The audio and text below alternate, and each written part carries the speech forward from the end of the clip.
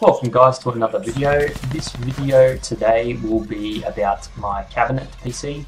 Um, I'm having to replace some parts at the back of the cabinet due to some technical issues. Um, I'll discuss them as we go further into the video, so please enjoy. So over the past week I've noticed that some of my cables have been stripped, all of the rubber, plasticky material around them have been eaten away and I'm guessing that a mouse or something has gotten into it so I've had to take the back piece off. Um, the back piece was also damaged because they chewed through it to get through um, so that would have been some solid chewing and I'm not sure how I didn't hear it but I've had to take apart all the wire management and all of the uh, back and replace some cables and I've had to make a new back piece. Along the edges here I've had to design the back piece so it slides into this, the grooves around the cabinet and this is the back piece here that I've designed.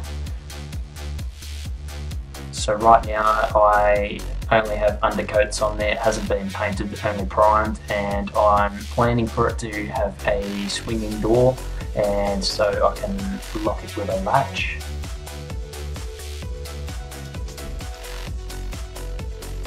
These are the hinges. I'm going to have four latches. I've only got two out for now just to show you and that is the latch which will be on the other side obviously so we can open and close the door and lock it.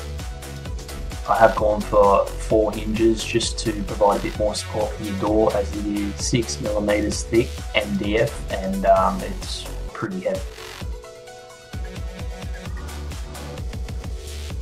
The holes at the bottom are for some cables to get through like the power supply cable. Um, it'll just provide a nice clean way for the cable to be able to route through and into the power supply.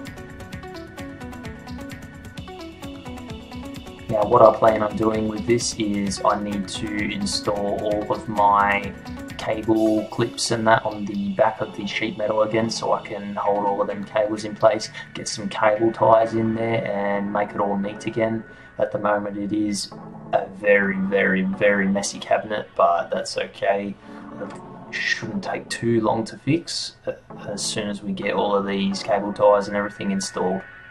So here's an example of how the power supply cable will route through. I've got two holes just for some other cable things that need to route through as well and it fits nice and snug so that is a perfectly shaped hole. This is how I will be mounting the cables onto the sheet metal. I just need to put a couple of clips on there and that should hold everything down and it'll make everything nice and neat again. So guys, I thought I'd just show you that little update as to what happened with the cabinet.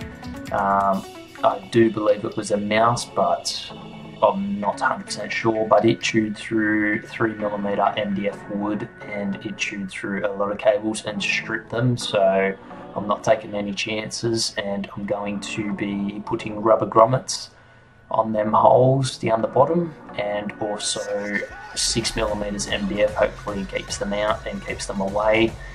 And yeah so guys I hope you enjoyed the video. Please stay tuned for more and if you liked it please thumb it up subscribe and I'll see you next time